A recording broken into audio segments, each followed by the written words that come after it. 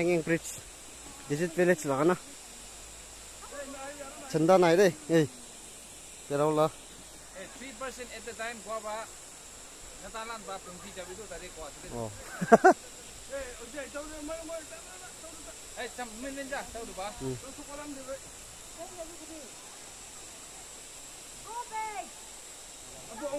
Alo mà chỗ đây sao vậy?